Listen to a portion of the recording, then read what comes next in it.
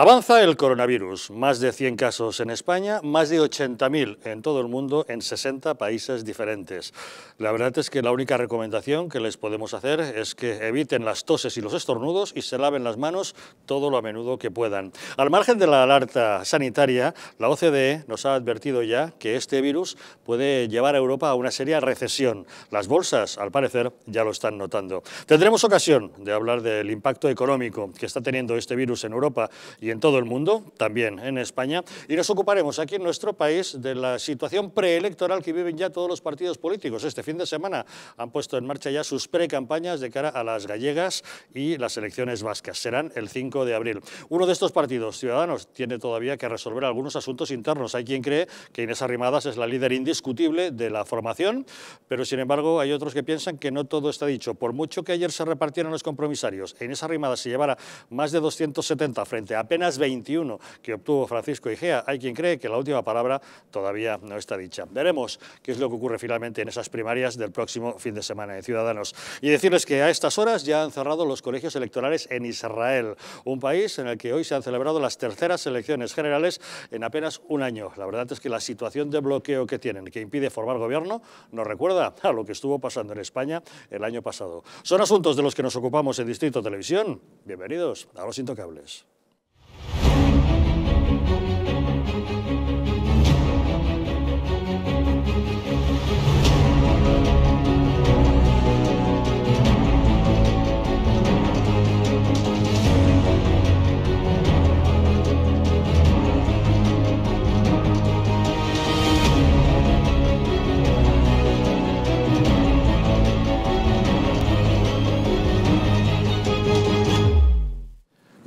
Noches, pueden ustedes sintonizar Distrito Televisión a través de las frecuencias 24, 45 y 57 de la TDT de Madrid, vernos en Aragón a través de la 8 de Zaragoza y desde cualquier lugar de España o incluso del mundo, si lo desean, a través de Internet. Saben que para ello cuentan con dos diferentes direcciones, el distrito.es y distritotv.es. Nos pueden encontrar en todas las redes sociales y si desean enviarnos mensajes a través del WhatsApp, cuentan para ello con el teléfono 669 72 86 73. Y para abordar los asuntos que hoy nos ocupan esta noche, en la mesa de los Intocables nos acompaña don Roberto Centeno. ¿Qué tal? Muy buenas noches. Muy buenas noches. Gracias por acompañarnos. Alberto Serrano, ¿cómo estamos? Buenas noches. Buenas noches, encantado de estar aquí. Gracias por estar con nosotros. Carlos Izquierdo, ¿qué tal? Muy buenas noches. Muy buenas noches, un placer. Hijo, de Juan Antonio Aguilar, ¿qué tal? ¿Cómo estás? Muy buenas noches. como siempre.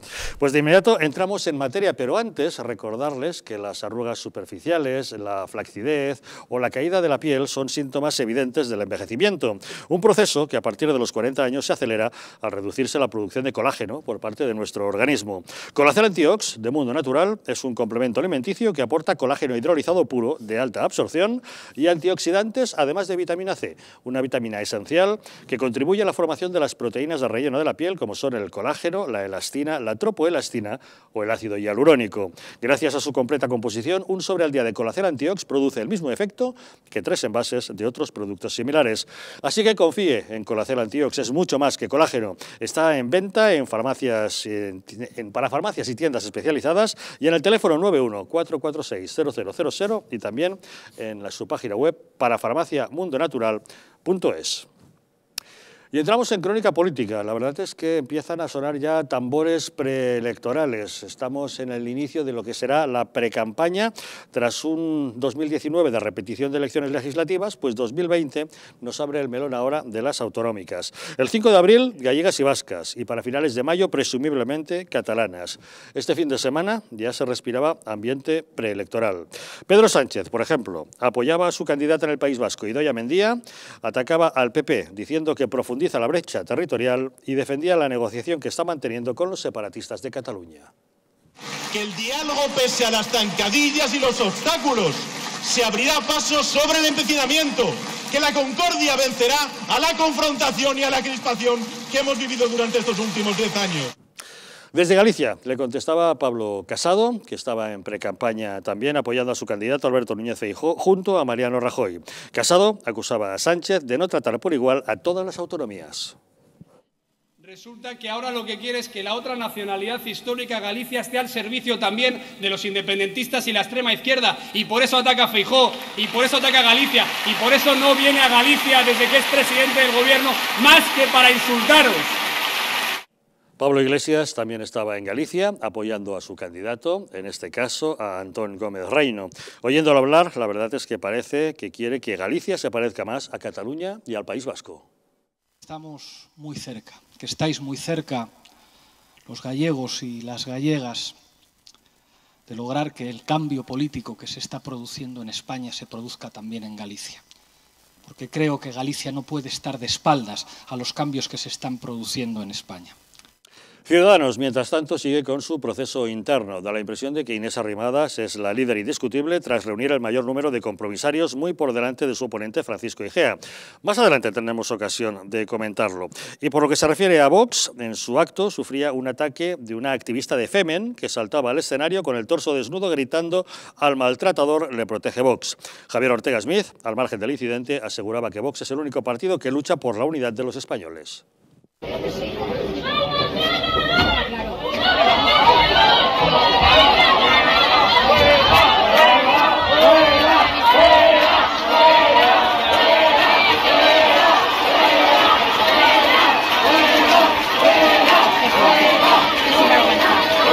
Parece que la izquierda decide las políticas. Lo que llamaban centro las asume y la derecha las gestiona. Pues ha venido Vox a combatir las ideas y a lograr que esas ideas no se sigan imponiendo en España. Bueno, y respecto a las elecciones vascas, decirles que según una encuesta de NC Report que publica hoy el diario La Razón, el PNV, el Partido Nacionalista Vasco, será el triunfador y podrá contar con la mayoría absoluta pactando con el PSOE. El PNV se desgasta algo, pero los socialistas crecen igual que EH Bildu. Los podemitas de El Carrequín Podemos son los que más pierden. La coalición PP Ciudadanos les deja igual o les suma apenas un escaño más. Ahora Ciudadanos no tiene representación y el PP tiene nueve. Juntos pueden sumar diez. Vox, según esta encuesta, no entra en el Parlamento de Vitoria. Y respecto a Galicia, las encuestas dan la victoria clara a Feijó, que puede alcanzar la mayoría absoluta o, en todo caso, quedarse exclusivamente a un escaño. Carlos, ¿qué podemos comentar de esta precampaña que ya se ha iniciado? Bueno, yo creo que lo más importante es eh, que lo que se enfrenta son los constitucionalistas contra los nacionalistas. Y por eso el Partido Popular ha decidido sumar un proyecto, un proyecto importante, el Partido Popular con Ciudadanos, y que en principio se esperan conseguir mejores resultados. Yo creo que los nacionalistas están en estos momentos preocupados y yo creo que según vaya pasando y avanzando la campaña, los resultados a favor del Partido Popular van a ser mejores. Yo soy optimista, yo creo que es necesario unirnos, que es necesario sumar votos y que al final obtendremos un buen resultado. En Galicia no, parece que, no parece que estéis por la labor de sumar votos, ¿no? Bueno, ahí tenemos un proyecto sumamente consolidado, que ha dado un muy buen resultado que ha sido un proyecto que elección tras elección es lo que querían los gallegos y vamos con un proyecto único, individual, con el Partido Popular, todos unidos y, bueno, yo creo que sacaremos ahí un grandísimo resultado para conseguir una nueva mayoría absoluta. Alberto, es lo que ha faltado, ¿no? Galicia, para completar el paquete a lo mejor de PP Ciudadanos. Quizá, pero yo estoy muy contento de que mm, por encima de nuestras diferencias veamos que hay un problema en el conjunto de España y que nos unamos en esa dirección. Es decir, que nuestras diferencias queden al margen, teniendo en cuenta lo que nos estamos jugando en este tipo de, elecciones, que ya viene a ser prácticamente una situación prácticamente sin retorno. Yo creo que el PNV necesariamente tiene que ir ganando elecciones. Aparte que es un partido de corte peronista y esto le favorece porque se identifica el PNV con el País Vasco y eso afecta mucho a sentimientos internos, aquí hay un dato que para mí es esencial, es que el PNV mantiene, mantiene, porque así lo quiso la Constitución, un régimen fiscal privilegiado. Entonces, elección tras elección dice, miren ustedes Castilla, miren ustedes comunidades limítrofes, están mucho peor que nosotros. Lo que no viene a decir es como consecuencia de ese régimen fiscal privilegiado que ellos tienen, que elección tras elección les aupa, les pone por encima, lógicamente, de sus vecinos y en esa comparación siempre salen, siempre salen ganando. Un régimen fiscal que, bueno, pues eh, es muy antiguo, lógicamente, arranca de, pues fíjese, de la tercera guerra carlista, una compensación que hizo Antonio Canador de Castilla, y fíjese, todavía hay algunos que todo aquello de Perpiñán que hemos visto la semana pasada y todo lo que se montó el año pasado, hablan de la cuarta guerra carlista, en este caso de Carlos Puigdemont. Pues fíjese que tampoco hemos evolucionado y seguimos un poco en esa dinámica de enfrentamiento entre regiones que yo creo que lastran bastante en general España. Juan Antonio, ¿cómo lo ves? Bueno, yo creo que simplemente son unas elecciones, unas comunidades donde prácticamente está todo dicho. No me voy a referir a las gallegas porque mm, ahí el dominio del Partido Popular hasta ahora ha sido significativo. Porque, ¿Tú crees que revalida la mayoría absoluta de Fijo? Bueno, no sé si será mayoría absoluta, pero quedará muy cerca. No Sería la tercera consecutiva o la cuarta que está ya, ¿no? Eh, pues no, no sé La- cuarta, la- ¿no? Ya sería la cuarta. Sí. Ah, pero será, es decir, que si no es mayoría absoluta estará muy cerca, no creo que sea significativo. Como tampoco me parece significativo el País Vasco, porque al final haya un acuerdo de gobierno en PNV con el PSOE. No es la primera vez. Lo- lo- lo que ni ya será hay. la segunda. Lo- ni lo que ya hay. claro, es decir, que el- A mí lo que me llama el- la atención del País Vasco es que esa derecha tan rancia del PNV busca exactamente lo mismo que los izquierdistas radicales de Bildu. No, pero, pero yo creo que hay, porque es un poco lo que comentaba antes eh, eh, Alberto. Es decir, el, el- aquello, mm, es decir, allí se vende vasco. ¿eh? Y entonces, eh, como lo que se vende es vasco y como no va mal, es decir, ¿por qué van a cambiar? ¿Por qué se van a meter en un berenjenal? Pues yo qué sé, ma- imaginemos un gobierno PSOE-Bildu. Mm, Es decir, cualquiera que conozca un poco aquella tierra se da cuenta de que no, eso no encaja muy bien. Es decir, generalmente la mayor parte de la sociedad vasca es bastante conservadora, eh, tiene un nivel de vida aceptable, es verdad que dispone de un concierto económico privilegiado que se ha mantenido gracias a los gobiernos de Madrid, sean del signo que sean, ¿eh? Y pues, ¿por qué va a cambiar? Además, en un momento donde seguro que va a sacar alguna ganancia más, pactando con el Partido Socialista, porque es un momento donde el Partido Socialista tiene que ceder muchas cosas para mantenerse en el gobierno. Con lo cual vamos a ver pues, eh, nuevas competencias, eh, posiblemente inversiones en infraestructuras eh, importantes. Y decir, entonces, es, que la verdad es que el PNV lo tiene relativamente sencillo para ganar. Y, yo a mí no me causa ninguna sorpresa.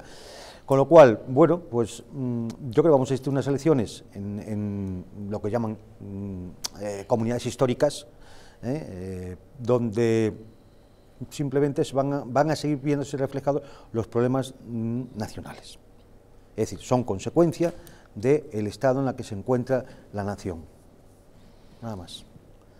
Me da igual si luego hay un punto para arriba, un punto para abajo, si vos logra meter un diputado o no en Vitoria, si, si la mayoría absoluta es o a falta de un escaño en Galicia. Es decir, el- el- todo eso mm, no va, no va a trastocar de ninguna manera la crisis del Estado Nacional, que es lo que realmente debería preocuparnos. Es decir, cuando Esa se plantea, la pare, me claro, cuando mí, se ¿no? plantea un acuerdo ciudadanos PSOE y luego al final es en un sitio, no- en un sitio sí, en otro no y demás.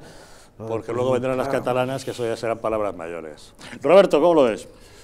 Bueno, vamos a ver, antes de empezar con esto, eh, dentro de las intervenciones que han tenido, eh, fundamentalmente, en primer lugar, Casado, o mejor dicho, Casado, hombre, después, eh, Casado, hombre, después de que hemos tenido la última semana, la última semana ha sido la semana más negra, la semana más nefasta después de la guerra civil, porque verdaderamente el señor Sánchez ha traspasado todas las líneas rojas, ha dicho a unos a una organización criminal representada por Torras, que fue recibido como un emperador, no ya como un jefe de Estado, sino como un emperador, ¿eh? que el tío se colocó además, en vez de presidir la mesa, ¿eh? este miserable se colocó él y así colocaba a España del otro lado para mm, que se viera que eran dos, dos cosas distintas, que estaban al mismo nivel, vamos. ¿eh? Y va este tío y dice que va, no, no sé si lo dijo él o lo dijo una de las individuas que estaba allí con él,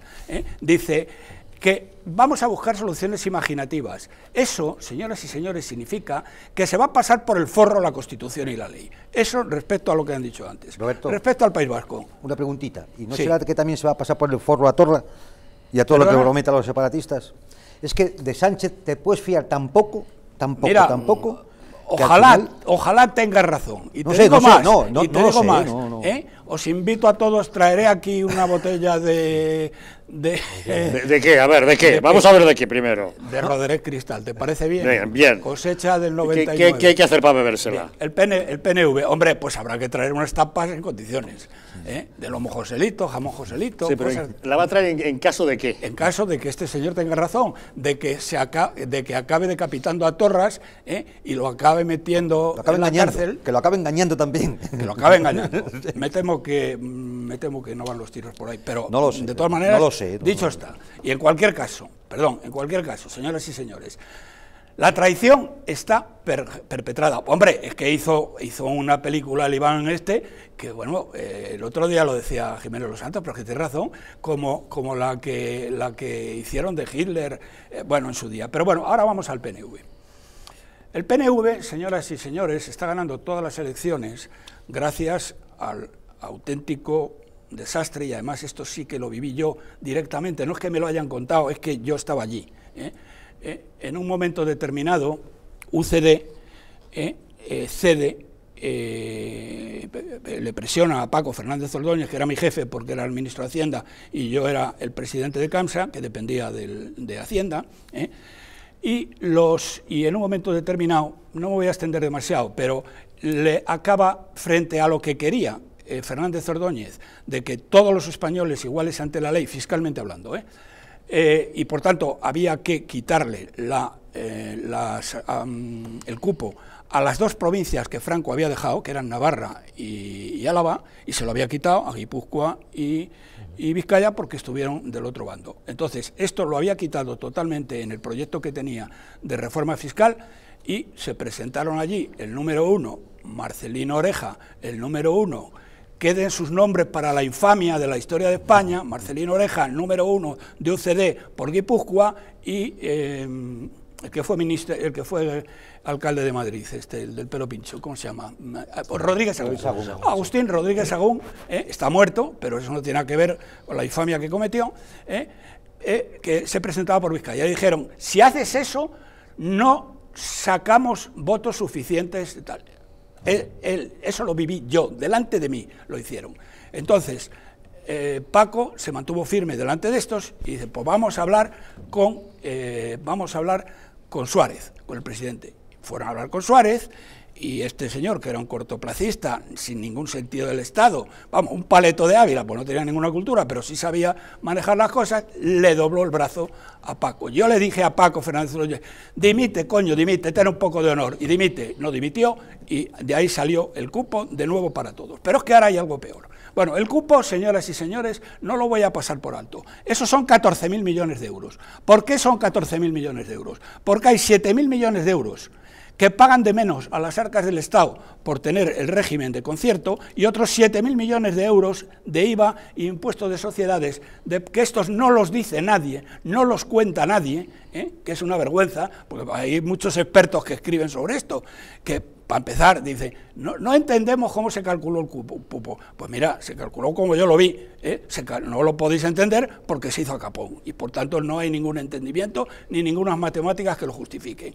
Pero lo que no dicen, y sí deberían decir, es que cuando los vascos, los, perdón, cuando las empresas vascas venden sus productos al resto de España y venden el 80% ¿eh? de lo que fabrican, el 80%, ¿eh? los IVAs de esos productos van y se ingresan en las, eh, en las diputaciones forales. Es decir, unas patatas fritas fabricadas en Irún ¿eh?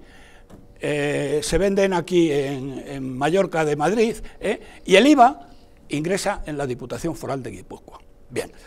¿Qué pasa después? Lo lógico es que se dijera que fuera por territorio, es decir, las patatas fritas que se han vendido en Madrid, el IVA va al tesoro público. No, señor, no va al tesoro público. ¿eh? Otra de las bajadas de pantalones que, como se ha dicho, a lo largo de la historia los diferentes presidentes fueron concediendo a estos traidores del PNV, porque han sido unos traidores a España siempre, empezando por la época de la República, ¿eh? que querían entregar primero a Inglaterra y luego a Franco, eh, a los italianos, lo que les quedaba. Bueno, a lo que voy. Este dinero se ingresa en las arcas de esta gente. Y después se reúnen con Hacienda y fijan una cantidad que vienen a ser 800 millones, que se calcula igual a Capón, que ha ido en descenso, igual que el cupo. Y se llevan ahí 7.000 millones por el tiro que, me toca. Pero ahora hay otra cosa y con eso termino.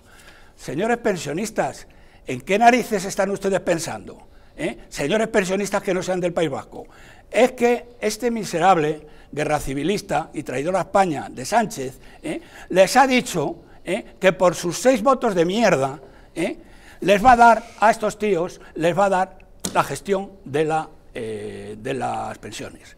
¿Y saben ustedes qué pasa? Pues se lo voy a explicar, porque, hombre, salen ustedes a la calle pegando gritos como si ardiera el mundo por, por por 3 euros al año y aquí les van a pegar un hachazo que los van a doblar y nadie ha dicho ni pío. Miren ustedes, la Seguridad Social Vasca gasta anualmente en pensiones 10.000 millones, en números redondos. De esos 10.000 millones, 4.000 son ingresos y 6.000 millones de agujero que tienen. Bien, lo que les ha prometido el señor eh, Sánchez es que ese agujero se queda cubierto para siempre, como los del País Vasco podrán ser traidores, podrán ser lo que ustedes le dé la gana, pero de tontos no tienen un pelo, ¿eh? Saben perfectamente, el señor Urcullo sabe perfectamente que la sanidad, eh, perdón, que las pensiones españolas van a la quiebra y lo que quieren es que quiebren las demás, pero la suya no. Y para ello este traidor a España y a los españoles les ha garantizado 6.000 millones. Señoras y señores, les ha garantizado, rompe la hucha de la seguridad social y les ha garantizado 6.000 millones. por eso, estos señores les vota todo el mundo ahí. ¿Y por qué no votan a vos? No votan a vos porque vos ha dicho que eso se acaba si ellos mandan en España. Y naturalmente, dudo muchísimo que saque un solo diputado. Asunto el de las prebendas, que como saben les venimos contando ya desde hace tiempo en este programa, bueno, y que es evidente y Vox Populi. Y si estos son concesiones que hace Pedro Sánchez desde el gobierno de la Nación al PNV, bueno, pues imagínense lo que queda todavía con el tema de los separatistas catalanes, que eso lo comentábamos luego, que después de estas gallegas y vascas tenemos las catalanas, que calculamos que serán para mayo aproximadamente o junio. ¿eh? Y veremos que misma lógica. Lo mismo, sí, pero esto, esto poca, poca resolución tiene, ¿no? No, no, no, es que, es decir, el, lo que ha comentado Centeno, claro, se refiere a, las cifras y es apabullante, pero eh, hay un aspecto político detrás de eso, y es la influencia política que genera que el Partido Nacionalista Vasco tenga ese privilegio. Pues claro, eso le garantiza ir ganando elecciones, ir asentándose, dominar los medios de comunicación, dominar, dominar eh, la estructura sindical, la estructura productiva. Entonces, ¿luego qué se quiere? Que el centro derecha no se atasque, no, se estanque, que el PSOE no acabe pactando un gobierno. Claro, pues es que, es decir, lo que no entiendo todavía es de qué nos extrañamos. ¿De qué nos extrañamos? Porque nada de esto es secreto, Roberto. lo sabemos desde siempre. Nada es secreto. Pero ¿sabes lo que ocurre? Que hay algunos periodistas, y tú lo sabes porque tú no eres uno de ellos, ¿eh? pues tú eres de los de pata negra de verdad y de los primeros de los pata negra, que es que son unos vagos, que copian unas cosas de otras y no trabajan el tema, porque, por ejemplo, ¿por qué narices, señores periodistas, señores opinadores de Opina Todo, de los medios de comunicación, no se han molestado ustedes en calcular cuánto dinero recibe el País Vasco, porque eso lo sacan fenomenalmente de los, de los boletines de la agencia tributaria. ¿eh? Bueno, es que se llevan 7.000 millones y ustedes dicen, no, se llevan 7.000 millones, que no, que no son 7.000, que son 14.000. ¿Por qué? Porque los IVAs se los quedan también y el impuesto de sociedades se lo quedan también, porque una sociedad vasca que eh, bueno que tiene unos beneficios, que está eh, instalada en el País Vasco, que tiene unos beneficios en, el resto de España, esos beneficios se ingresan en las, en las comunidades autónomas. Y hay dos empresas que no me lo sé muy bien, porque lo que me han dicho, pero yo no lo he podido comprobar, ¿eh? el BBVA, que tiene la sede social en Bilbao, y Iberdrola, que tiene la sede social en Bilbao, ¿eh? en el mismo Bilbao, ¿eh? estos señores, ¿qué pasa con los beneficios que tiene el resto de España? Me cuentan, y yo me lo tengo que creer, porque eso ya sería tremendo, aunque me lo creo solo a medias. Me creo que los beneficios de Iberdrola y los beneficios del BBVA ¿eh? van, se, se dividen después, perdón, y los IVAs de todo lo que ellos facturan, este eh, vaya, Iberdrola factura un montón de impuestos aparte del IVA, ¿eh? que creo que, ingresa, no lo sé si ingresa en, la... bueno, se aplica el principio de territorialidad, me explican. ¿eh? No lo sé, lo dudo, porque seguro que tienen otra serie de ventajas, porque tontos no son. Y como los de Iberdrola y los del BBVA, España les importa una higa, y lo único que les importa es estar bien con los vascos porque tienen allí lo que tienen, ¿eh? pues se ha terminado la presente historia. Pero digo yo, señoras y señores, si se aplica el principio de territorialidad a Iberdrola y al BBVA, porque son muy grandes, porque no se aplica a las pequeñas, a la fábrica esta de Y luego hablan de armonización y quieren que suban los impuestos a aquellas comunidades que están cobrando menos a sus ciudadanos. En fin, asuntos de los que seguiremos hablando, lógicamente, mientras estemos nuevamente en periodo electoral. Parece que echábamos de menos el 2019, un año en el que estuvimos constantemente de elecciones, de campañas, de repetición de elecciones. El 2020 no podía ser menos. Tenemos aquí autonómicas para dar y para tomar. Hacemos una pequeña pausa y volvemos de inmediato. Hemos de hablar de un partido que tiene primero que resolver una cuestión interna, Ciudadanos. Se da por hecho que Inés Arremadas es la gran favorita, pero hay quien duda, hay quien piensa que a lo mejor Francisco Igea tiene alguna opción. Una pausa y les contamos.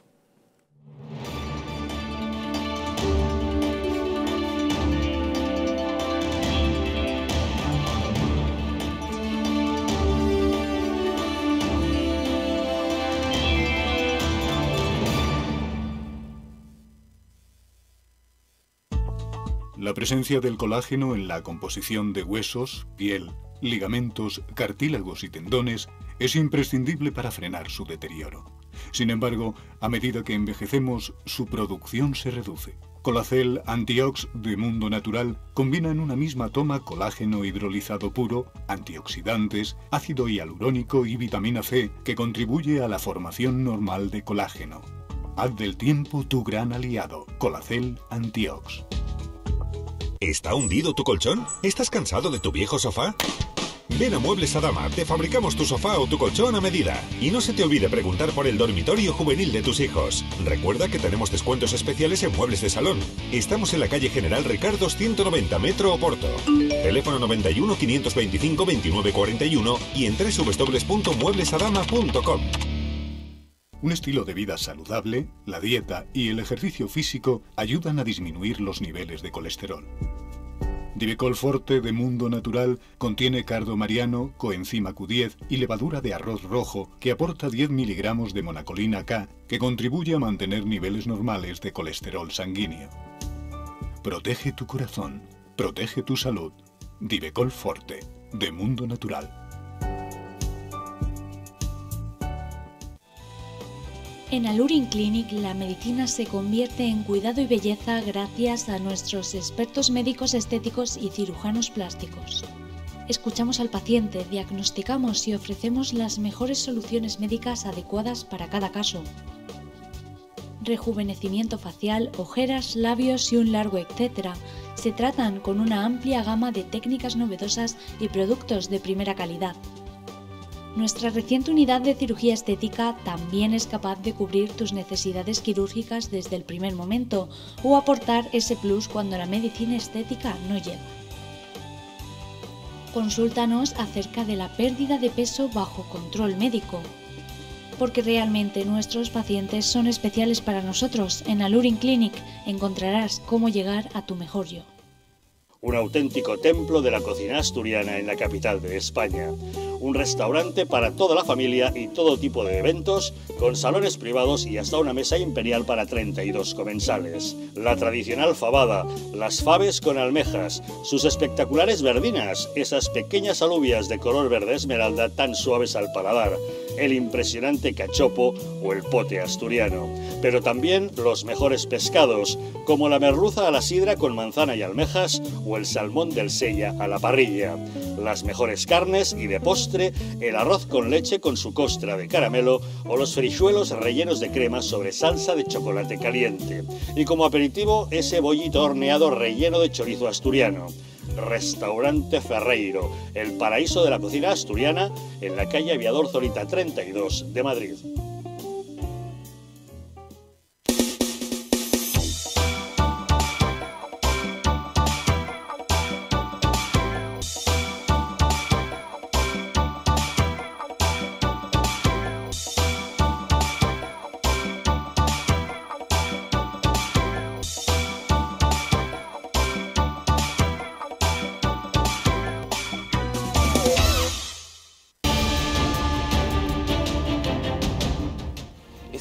Auténtico Estado democrático o estamos en una pacitocracia? Porque este programa se hace para ustedes. La ciudadanía está quedando atónita a lo que estamos viendo. Vamos a ver cosas que nunca se imaginarían. Lo que ha pasado en España demuestra que Falconetti no es tonto. Que la democracia, ¿qué es lo que es, amigos? El imperio de la ley. Esta izquierda rancia lo que quieren es exterminar todo aquello que no piensan exactamente igual. El castigo va a ser terrible para todos los partidos. Recuerden que no les engañen, porque la verdadera libertad consiste en estar bien informados.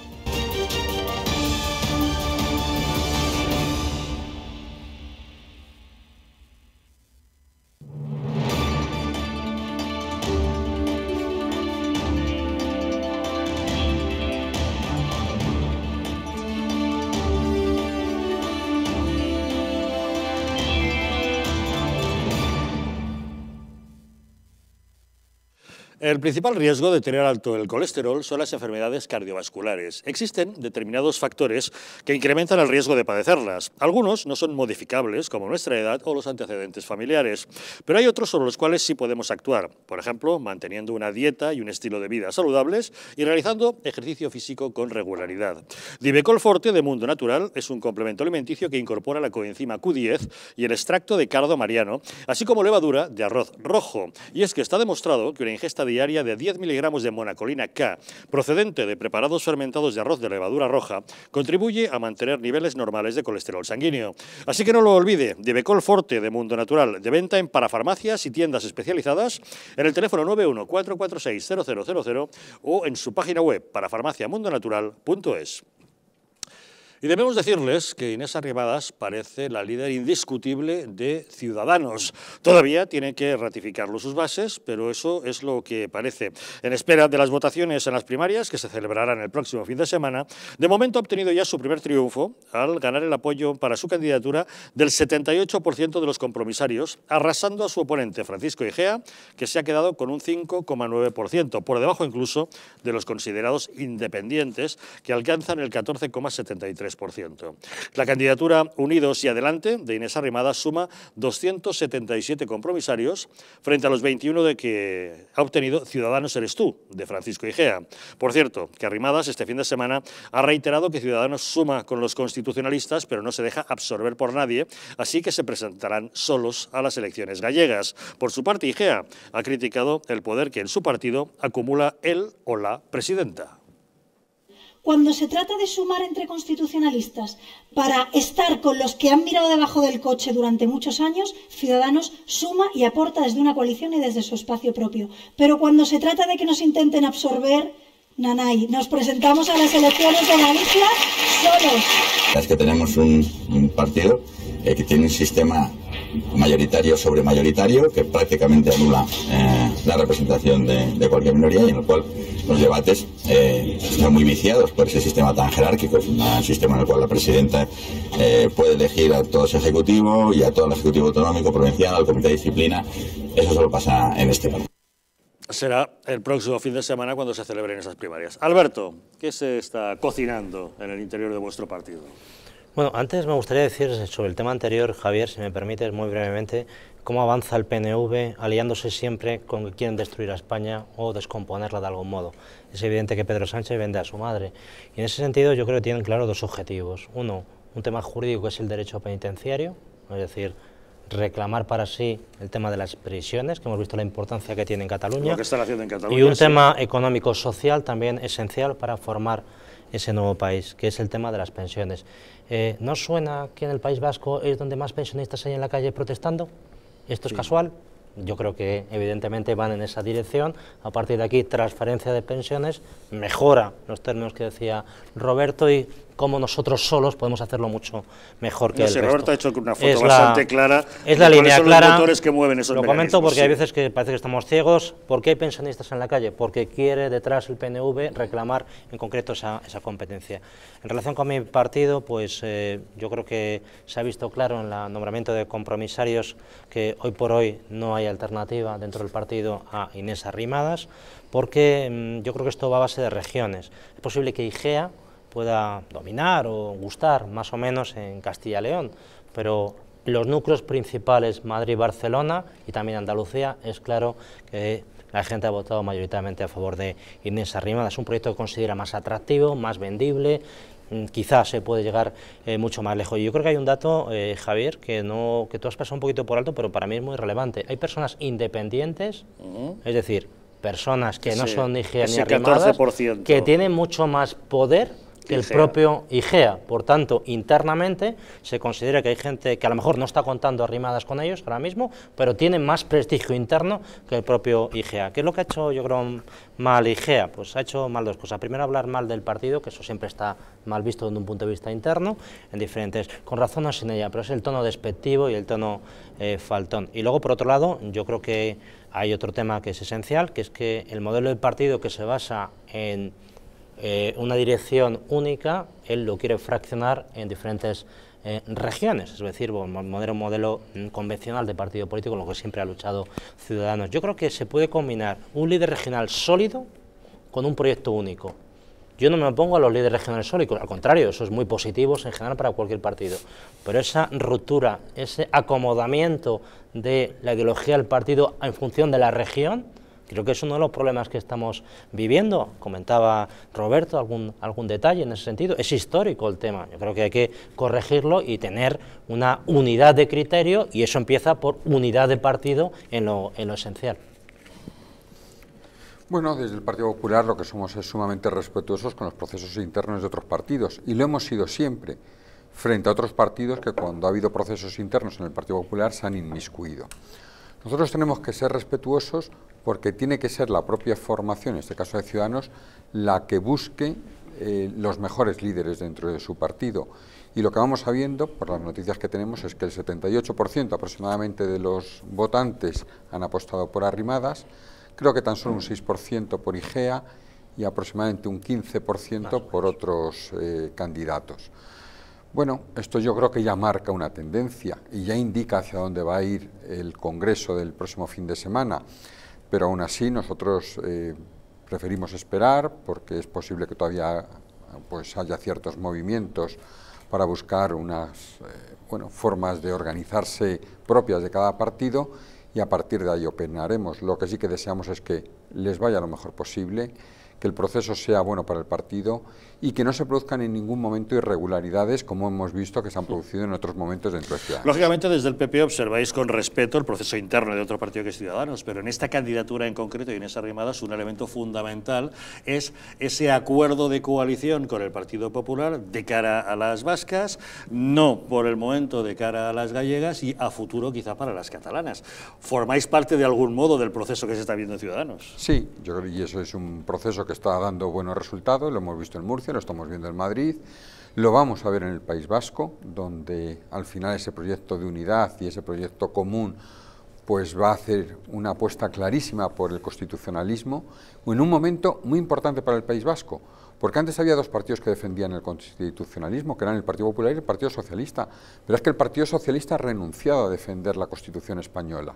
Ha preferido eh, defender a su propio presidente de gobierno, a Pedro Sánchez, y garantizar que tenga poder. Y están dispuestos a sacrificar lo que sea, incluso España, vendiendo eh, proyectos tan importantes como la seguridad social o como las competencias en materia de prisiones. Y precisamente lo que nosotros buscamos es justo lo contrario, fortalecer la Constitución y para eso hemos buscado un aliado que también piensa lo mismo, que es precisamente Ciudadanos. Y lo hemos hecho con Arrimadas. Roberto, vamos a ver. Eh, parece que todo el mundo da por hecho que Inés Arrimadas es la líder indiscutible de Ciudadanos, pero usted antes levantaba el, dedo diciendo no necesariamente. ¿A qué se refería? No, bueno, primero quiero hacer una aclaración porque parece que estamos aquí discutiendo alguna cosa relevante y lo que pase en Ciudadanos es irrelevante porque está desaparecido en combate. Es decir, esto del eh. unido y adelante es más bien unido y marcha atrás. Don Roberto, yo le he planteado el tema de Ciudadanos. Si considera que he elegido mal los temas para el programa, me lo dice claramente. Pero yo le estoy preguntando qué información tiene usted respecto a eso. Siempre elige unos temas. Cante, mójese, mójese. En vez de echar balones fuera diciendo que esto es irrelevante, tengo aquí, cuéntenos la verdad de lo que sabe. Tengo aquí una chuleta, yo no sé nada, pero tengo aquí una chuleta que me la ha dado alguien que sabe. ¿eh? el señor Bermejo, que, es, que de esto sabe muchísimo. Pero le juro que me lo ha tenido que repetir tres veces para que lo haya yo podido entender, y eso que soy de ciencias. ¿eh? Pues a ver si nos lo explica y lo entendemos nosotros. primero, eh, lo que se ha elegido ahora y en lo que se ha producido esta victoria tan aplastante son los compromisarios, cuya labor es que el próximo día 15 van a aprobar, o no, bueno, no tendrá, no, no, lo sé porque si sucede algo raro este fin de semana, ya no sé qué pasa. Pero bueno, teóricamente deben aprobar los estatutos, eligen un consejo de, de, notables, etcétera, etcétera, etcétera. En total, 125 eh, compromisarios eligen y hacen esto. Ahora bien, ¿cómo han salido estos compromisarios? Y ahí es donde está el tema que yo no se me había ocurrido, pero es bastante enrevesado. Voy a tratar de explicarlo con la mayor claridad posible. Que conste que yo no he entendido a la primera. Vamos a poner el caso de Madrid, porque hay que coger un ejemplo, porque si no, esto no se entendería. El caso de Madrid. El caso de Madrid tiene, déjame un momento verlo, ¿eh? que no diga ninguna tontería, tiene 4.000 afiliados, Madrid que son el 25%. Es decir, esto significa que eh, Ciudadanos tiene... Eh, unos 16.000 en 16 total. 16.000 en total, sí. Mm. Bien. Votado unos 1.000. Bien. En, en, unos 1.000 han votado. Tiene, vale. tiene 4.000. Han votado la mitad, el 51%, pero vamos, han votado 2.000. Entonces, de estos 2.000 que han votado, no se elige, se eligen a los 41 primeros. Es decir, aquellos 41 que tienen más votos de estos 2.000 ¿eh? eh, son los que se eligen. Ajá, Pero los que tienen menos no se eligen y, por supuesto, tampoco los que, los que no han votado. Entonces, esto los que, más si... han tenido son 500 y pico votos. 600, ya, bueno. Los que más. Uh -huh. Por ahí han dado el tema. No, pues bien, no sé. Entonces, aquí lo que puede pasar es lo siguiente. Es decir, lo que, ¿qué es lo que quiero decir? Que mmm, probablemente, que probablemente el número de personas que ha elegido a estos compromisarios y eventualmente, naturalmente, elegirían a, a, a, Inesita, a Rimadas, son, pues no, no, lo sé cuántos podrán ser, pero corrígeme tú si me equivoco, pero podrían ser a lo mejor 800 o 900. Y quedan, por ejemplo, Madrid, entonces, si fueras el caso, quedarían, eh, digamos, algo así como 3.200 que o, han, o, no han votado o han votado eh, y han perdido porque no forman parte de esos 41 los que han sacado, que son los que más han sacado, y los otros 800 se han repartido entre estos 41 y lo han sacado. ¿Esto a nivel nacional qué significa? Significa a nivel nacional que el próximo, que el próximo sábado o domingo pues como decía un paisano de mi tierra, eh, que cuando le preguntaban que qué tiempo iba a hacer, se quitaba la boina, se rajaba la cabeza, miraba para arriba para abajo y decía, pues mire usted, señorito, está pató. Lo que yo digo es que está pató, eh, tal como está esto. ¿Por qué? Porque lo que sabemos con esto es que de los 4.000 compromisarios que hay en Madrid, y esto es extensible al resto de las provincias, puede haber 800 que han votado a Inés Arrimadas.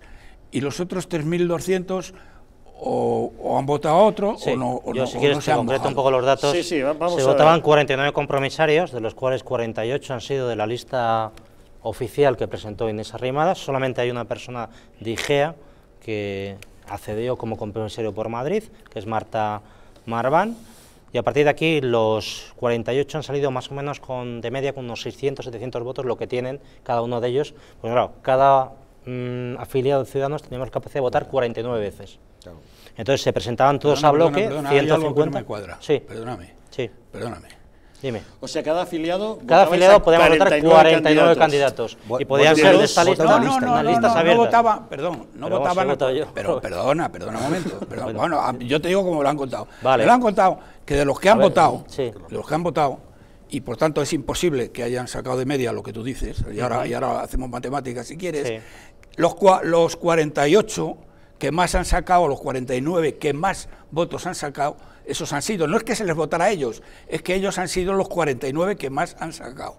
Y luego hay otra serie de ellos que no han sacado tanto. Y luego hay Claro, porque 2.000 la gente no tenía han por qué votar en la lista oficial. La gente votamos a quien quisiéramos. Bien podía Que ser sí, la lista sí. oficial o a quien nos diera, eh, O sea, a ver, consideráramos. Alberto, Entonces, a partir de explícanos el 49 proceso. votos Vosotros teníais una relación de ciento y pico candidatos. de ciento y pico candidatos, Y de a- los que teníais que señalar a 49. a quien queríamos votar. A 49. Entonces, hay una persona de IGEA. a un máximo de 49, Correcto. entiendo. Hay una persona de IGEA, que pese a ser de IGEA y en principio rechazado mayoritariamente por la militancia, eh, el afiliado de Madrid le ha aupado como compromisaria, que es en este caso Marta Marván, que lleva muchos años y es apreciada.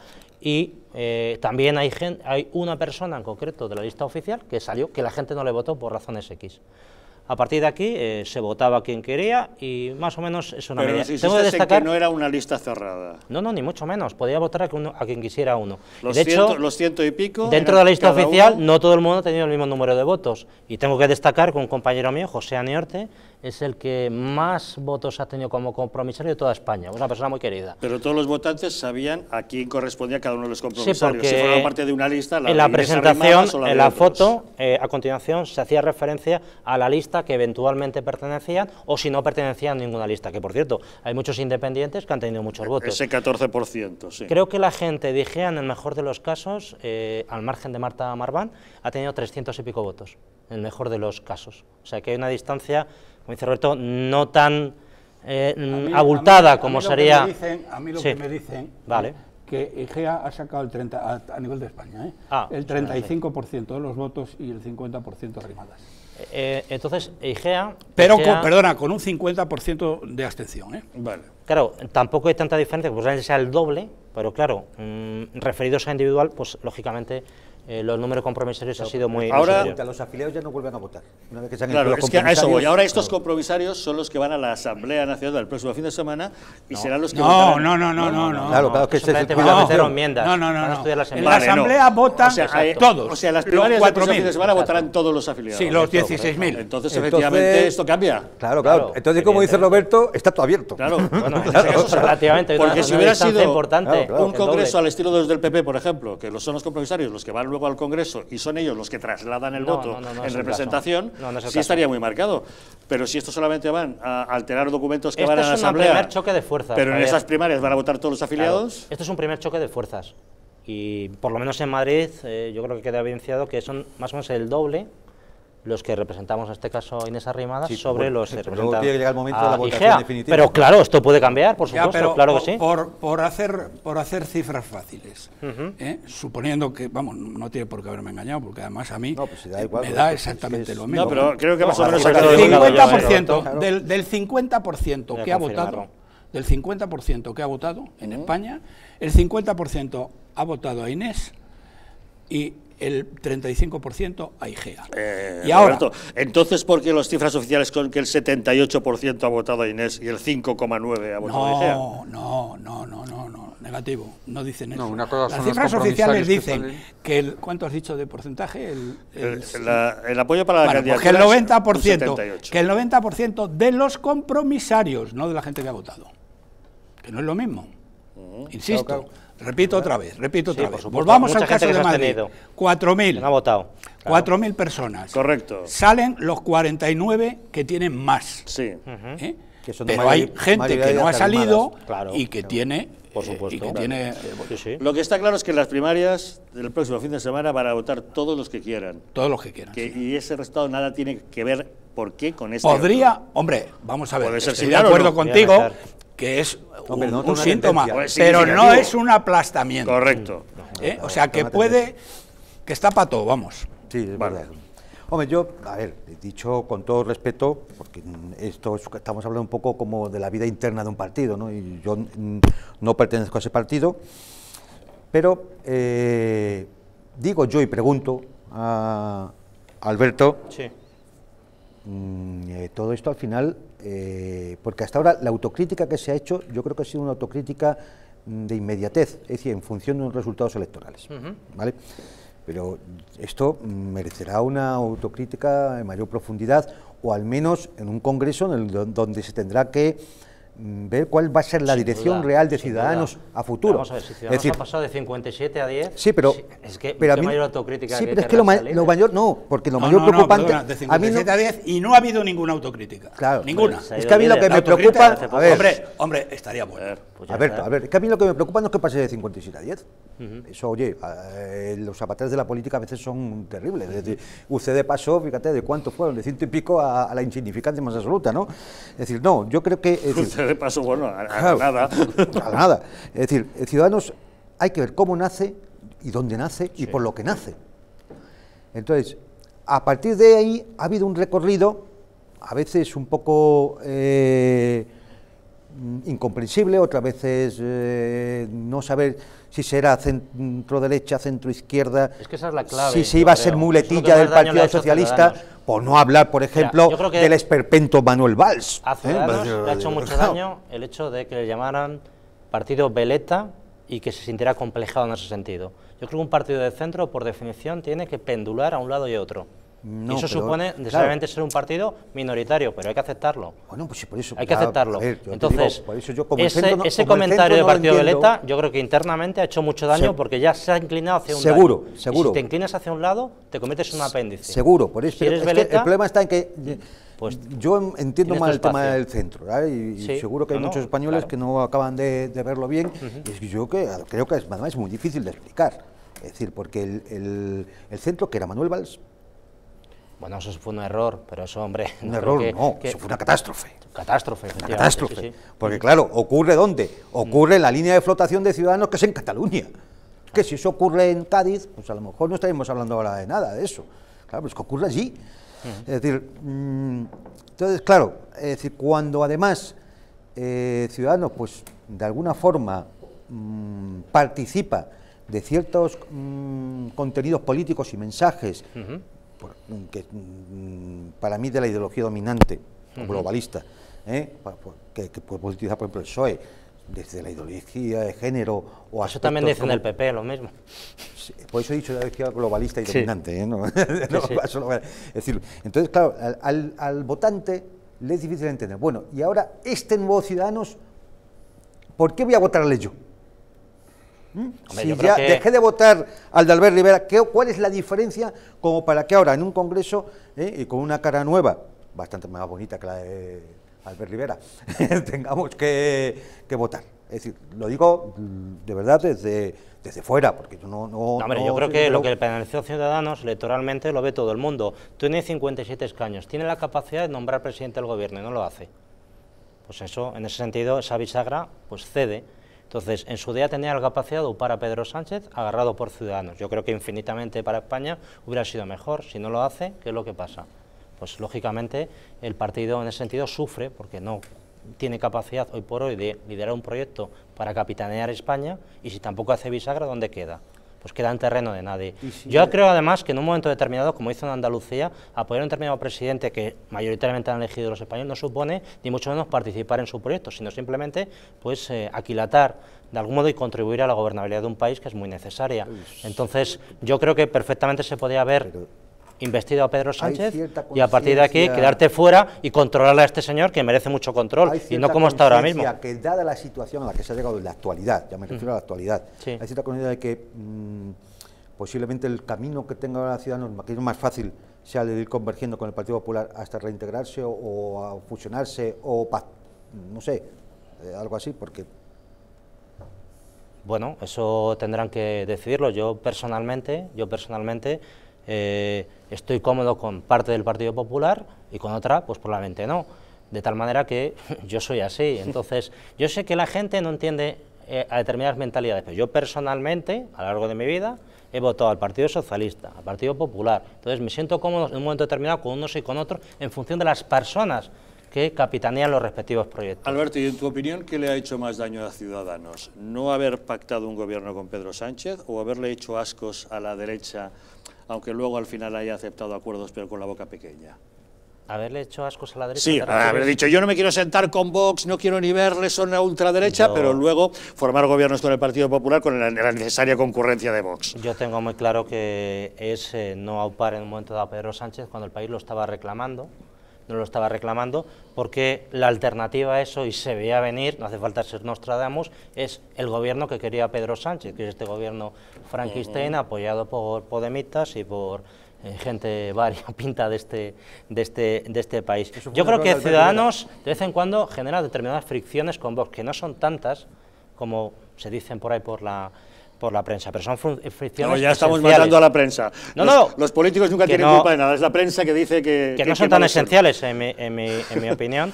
Lo que pasa es que... Yo creo que la eh, prensa no ha exagerado en absoluto los desplantes que Ciudadanos ha tenido hacia Vox, clarísimos. Bueno, desplantes en el sentido de, que no quería... De una manera total, Que no quería, no quería formar gobierno con no, no, no, en un momento determinado. pero, bueno, que no le echemos la culpa a la prensa. No, no, ni mucho menos. Desde, Vox se ha es una realidad, Vox, es una realidad que Ciudadanos, de momento, de momento, no va a participar en ningún tipo de coalición de gobierno eh, con Vox, en relación con los ¿eh? postulados y Lo estás diciendo que, claramente, sí. que defiende. Eh, a partir de aquí, yo tampoco lo veo, sinceramente, un, desplante. Vox también dice que no forma parte de ningún gobierno con Ciudadanos. Sin, criticar la postura... fenomenal, no hay ningún problema. Alberto, no, no, pero, pero, no, no, es que no, no, no quería traer críticas de, nadie. No, no, yo pero le he limitado a preguntarte qué, es, qué es lo que le había perjudicado más a Ciudadanos, si una cosa o la otra. Para mí, Me has contestado y consideras que la otra. Que eventualmente vota a Vox, en principio no tiene que ver con Ciudadanos. No. ¿Qué ha dicho? ¿Qué quieres decir? A ver. No, que, hombre, que es que eh, cuando estabas comentando las cosas que le han perjudicado a Ciudadanos, coño, es que el señor Macron eh, se ha permitido públicamente, públicamente, darle órdenes al señor eh, que estaba ahí antes, con quién podía pasar y con quién no podía pasar. Ya me contarás tú a mí, Mm, ¿Dónde deja eso a Ciudadanos? y luego te preguntaría, te preguntaría, no me contestes porque no vamos a tener tiempo. Que dice, es que no coincidimos con los planteamientos de vos. ¿En qué no coincidís? ¿En la unidad de España? ¿Eh? hombre, por ejemplo, por en acabar con el... En eso sí coincidís. ¿En la unidad de España? Sí. Hombre, sí, yo soy oficial de infantería. Imagínate, Roberto. ¿Eres oficial de? Ah, sí, de infantería. Ah, bueno, yo también, pero pequeñito, pequeñito, yo me quedé en alférez. Esto, bueno, eh, ¿no estáis de acuerdo, no estáis de acuerdo en acabar con el cupo vasco? Sí. Bien, eh, ¿no estáis de acuerdo en el tema de la ideología de género? ¿eh? de que todos los españoles son iguales ante la ley y por lo tanto no es posible aceptar. Don Roberto, se nos come el tiempo. Usted ha dicho, quiero decir una cosa, y, ha hecho aquí un alegato. La próxima vez me avisa de que quiere hacer ese alegato, y yo le dedico el tiempo. Sí, y sobre todo tengo tiempo para decir en qué estoy en desacuerdo con vos, que son muchas cosas todos los días en los plenos de mi distrito, por ejemplo. Por eso le digo que la pregunta era bien simple, solamente le preguntaba cuál era el de punto que más le había perjudicado, no ahora entrar en valoraciones profundas de lo que realmente ocurrió, porque si quiero saber eso, le preguntaré a don Roberto, que sé que es el más afrentado en ese sentido, nos lo ha puesto de manifiesto en más de una ocasión. Pero bueno, tenemos que hablar de otros asuntos, de, sobre este por supuesto que volveremos en otra ocasión. Vamos a dar una pequeña pausa y de inmediato volvemos cuando ya a estas horas, como saben, ya han cerrado los colegios electorales en Israel en unas terceras elecciones en menos de un año, en una situación de bloqueo político que va a merecer también unos minutos de análisis. Pausa y les contamos.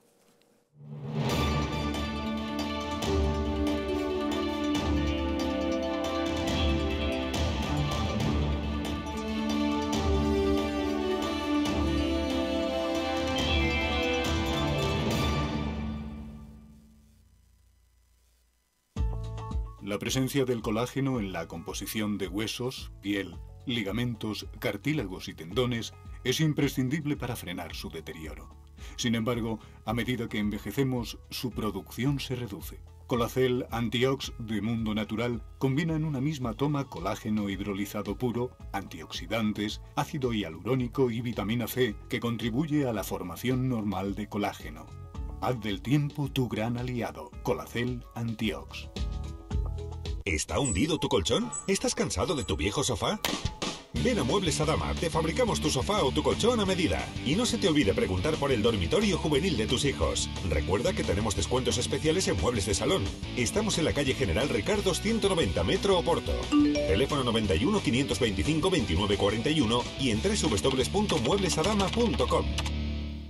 Un estilo de vida saludable, la dieta y el ejercicio físico ayudan a disminuir los niveles de colesterol. Divecol Forte de Mundo Natural contiene cardo mariano, coenzima Q10 y levadura de arroz rojo que aporta 10 miligramos de monacolina K que contribuye a mantener niveles normales de colesterol sanguíneo. Protege tu corazón, protege tu salud. Divecol Forte de Mundo Natural.